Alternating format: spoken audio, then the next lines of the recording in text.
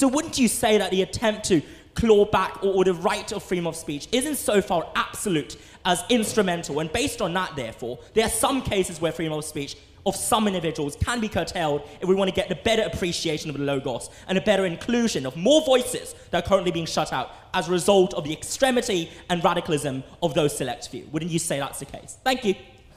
Well, well, there's a very simple answer to that, which is yes.